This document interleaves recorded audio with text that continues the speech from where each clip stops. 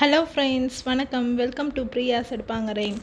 நாம் இன்றைக்கி ஒரு சூப்பரான ஒரு ரெசிபி தான் பார்க்க போகிறோம் கேரளா ஸ்பெஷல் கடலைக்கறி எப்படி பண்ணுறதுன்னுட்டு அதுக்கு முன்னாடி நம்ம சேனலை நீங்கள் ஃபஸ்ட் டைம் பார்க்குறீங்கன்னா மறக்காமல் சப்ஸ்கிரைப் பண்ணி பக்கத்தில் இருக்க பெல் ஐக்கானையும் ப்ரெஸ் பண்ணிக்கோங்க. இப்போ கருப்பு கடலையை ஒரு எயிட் ஹவர்ஸ் வந்து ஊற வச்சுட்டேன். ஊற வச்சுட்டு நல்லா வாஷ் பண்ணிவிட்டு ஒரு ப்ரெஷர் குக்கரில் சேர்த்துக்கிறேன். ஒரு ரெ- ரெண்டு கப் அளவுக்கு தண்ணி சேர்த்துட்டு கொஞ்சம் தேவையான அளவு உப்பு கல் உப்பு சேர்த்துக்கோங்க. இப்போ குக்கர் லிட்டை க்ளோஸ் பண்ணிவிட்டு ஒரு ஃபோர் டு ஃபைவ் விசில்ஸ் வந்துட்டோன்னே ப்ரெஷர் தானாக ரிலீஸ் ஆனதுக்கப்புறமா ஆஃப் பண்ணி ஓப்பன் பண்ணலாம். அந்த மீன் டைமில் நம்ம வந்து ஒரு கிரேவி ரெடி பண்ணிக்கலாம். ஒரு கடாய் வச்சுக்கோங்க. கடாய் சூடேறினதுக்கப்புறமா கடலை எண்ணெய் சேர்த்துக்கோங்க. எண்ணெய் சூடேறட்டும். இப்போ எண்ணெய் சூடேறிடுச்சு. இப்போ இதில் ஒரு சின்ன சைஸ் பட்டை ஒரு ரெண்டு கிராம்பு சேர்த்துக்குங்க. ஒரே ஒரு வரமிளகாய் சேர்த்துக்குங்க. இப்போ ஒரு மூணு பச்சை மிளகாவை குட்டி குட்டியாக கட் பண்ணி சேர்த்துட்டேன். ஒரு இன்ச் சைஸ் அளவு இஞ்சி சேர்த்துக்குங்க.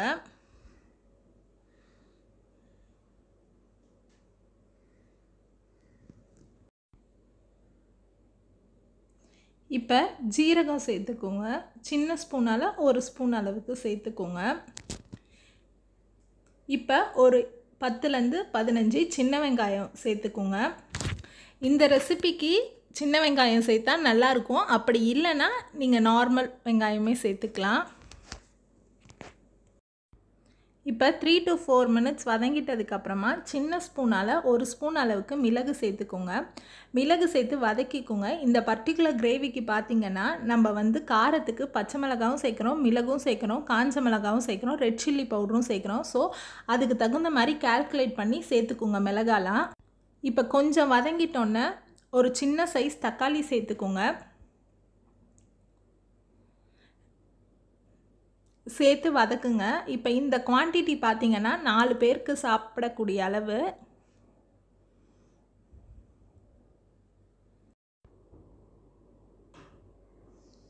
இப்போ இந்த ரெசிபிக்கு தேவையான அளவு கல் உப்பு சேர்த்து வதக்கிக்கோங்க. இந்த உப்பு சேர்க்கக்குள்ளே கொஞ்சம் பார்த்து சேருங்க. ஏன்னா நம்ம கடலை வேக வைக்கக்குள்ளேயும் உப்பு சேர்த்துருக்கோம். ஸோ கொஞ்சம் இதில் கம்மியாகவே சேர்த்துக்கோங்க. இப்போ ஃபோர் டு ஃபைவ் மினிட்ஸ் வதங்கிடுச்சு. இப்போ இதில் வந்து நம்ம பொடியெலாம் சேர்த்துக்கலாம். கொஞ்சோண்டு மஞ்சள் பொடி சேர்த்துட்டேன். இப்போ கொத்தமல்லி பொடி ஒரு ரெண்டு ஸ்பூன் அளவுக்கு சேர்த்துட்டேன். சேர்த்து கொஞ்சம் நல்லா வதக்கிக்கோங்க. இப்போ காரத்துக்கு ஒரு ஒரு ஸ்பூன் அளவுக்கு ரெட் சில்லி பவுடர் சேர்த்துட்டேன்.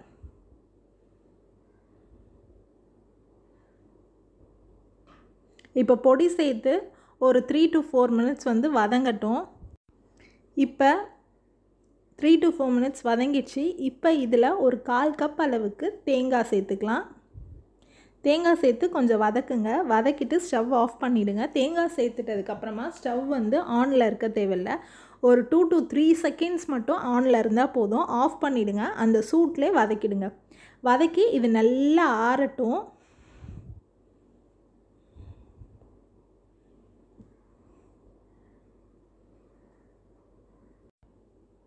என்கிட்ட தேங்காய் துருவல் கொஞ்சோண்டு தான் இருந்தது. அதனால் தேங்காவை பல்லு பல்லாக கீறி அதையும் சேர்த்துட்டேன். இப்போ வந்து அது ஆறட்டும். இப்போ வந்து ப்ரெஷர் தானாக ரிலீஸ் ஆனதுக்கப்புறமா இப்போ குக்கர் லிட் ஓப்பன் பண்ணுறோம் கடலை வந்து நல்லா வெந்திருக்கு. இப்போ இந்த தண்ணியை வந்து வேஸ்ட் பண்ணாதீங்க. இந்த தண்ணி வந்து நமக்கு வந்து தேவைப்படும். இந்த பாருங்கள் கடலை நல்லா வெந்திருக்கு. இப்போ நம்ம வதக்கி வச்சுருந்தது எல்லாமே ஆறிடுச்சு. இப்போ இதை ஒரு மிக்ஸி ஜாரில் சேர்த்து நல்ல ஃபைன் பேஸ்ட்டாக அரைச்சிக்கலாம். இப்போ அரைக்கிறதுக்கு நாம் வந்து அந்த கடலை வேக வச்சோம்ல அந்த தண்ணியை யூஸ் பண்ணிக்கலாம். இப்போ நம்ம அரைச்சிக்கிட்டு வந்தாச்சு. இப்போ அதே கடாயில் வந்து நம்ம அரைச்சிக்கிட்டு வந்த பேஸ்ட்டை சேர்த்துக்கலாம். சேர்த்துட்டு இந்த கடலை வேக வச்சோம். அந்த தண்ணி இருக்குது பாருங்கள் அது எல்லாத்தையுமே சேர்த்து நல்லா மிக்ஸ் பண்ணிவிடுங்க உங்களுக்கு தேவையான அளவு நார்மல் வாட்டர் கூட சேர்த்து கொதிக்க வச்சுக்கலாம். உங்களுக்கு எவ்வளோ கிரேவி வேணுமோ அதுக்கு தகுந்த மாதிரி தண்ணி ஆட் பண்ணிக்கோங்க. இப்போ தண்ணி சேர்த்து நல்லா கொதிக்குது. இப்போ இந்த கிரேவிக்கு வந்து தாளிப்பு சேர்த்துக்கலாம். ஒரு சின்ன கடாய் வச்சுக்கோங்க. கடாய் சூடு ஏறிட்டதுக்கப்புறமா தேங்காய் எண்ணெய் சேர்த்துக்கோங்க. தேங்காய் எண்ணெய் சேர்த்துட்டா சூப்பராக இருக்கும். நீங்கள் வதக்கக்குள்ளேயே உங்களுக்கு வேணும்னா தேங்காய் எண்ணெயில் வதக்கினா டேஸ்ட் வந்து ரொம்பவே சூப்பராக இருக்கும்.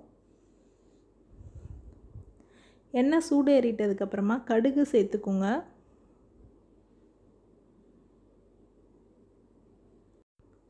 கடுகு பொரிஞ்சிட்டதும் வரமிளகாய் சேர்த்துக்குங்க. கொஞ்சோண்டு கருவேப்பிலை சேர்த்துக்கோங்க. பெருங்காயம் சேர்த்துக்குங்க. இப்போ இந்த தாளிப்பை நம்ம ரெடி பண்ணி வச்சுருக்க கிரேவியில் சேர்த்துக்கலாம். இப்போ தாளிப்பு சேர்த்தாச்சு. இப்போ இதை ஜென்டிலாக ஒரு மிக்ஸ் பண்ணிக்கோங்க. கொத்தமல்லி தழை இருந்ததுன்னா குட்டி குட்டியாக கட் பண்ணி ஃபைனலாக தூவிக்கோங்க. இப்போ நம்மளோட டேஸ்டியான கடலைக்கறியை ரெடி ஆயாச்சு. இப்போ இந்த கடலைக்கறியை நான் ஆப்பமோட சர்வ் பண்ணியிருக்கேன் இந்த டேஸ்டியான கறியை மறக்காமல் உங்கள் வீட்டில் ட்ரை பண்ணி பாருங்கள் ட்ரை பண்ணி பார்த்துட்டு உங்கள் வேல்யூபிள் ஃபீட்பேக்ஸை மறக்காமல் கமெண்ட் செக்ஷனில் போஸ்ட் பண்ணுங்கள் உங்களுக்கு இந்த வீடியோ பிடிச்சிருந்ததுன்னா லைக் பண்ணுங்கள் உங்கள் ஃப்ரெண்ட்ஸ்க்கும் ரிலேட்டிவ்ஸ்க்கும் ஷேர் பண்ணுங்கள் சேனலை மறக்காமல் சப்ஸ்கிரைப் பண்ணி பக்கத்தில் இருக்க பெல் ஐக்கானையும் ப்ரெஸ் பண்ணிக்கோங்க. இருங்க இருங்க. என்னோட பொண்ணும் வந்து இந்த டைலாக்கை சொல்கிறா அது எப்படி இருக்குன்னு கேளுங்கள் சப்ஸ்கிரைப் பண்ணிருங்க பில் பத்தனை மண்ட கிளிக் பண்ணிருங்க பாய் பாய் நான் உங்களை இன்னொரு இன்ட்ரெஸ்டிங்கான வீடியோவில் இன்ட்ரெஸ்டிங்கான ரெசிபியில் மீட் பண்ணுறேன் தேங்க்ஸ் ஃபார் வாட்சிங் ஃப்ரெண்ட்ஸ் டாட்டா பாய்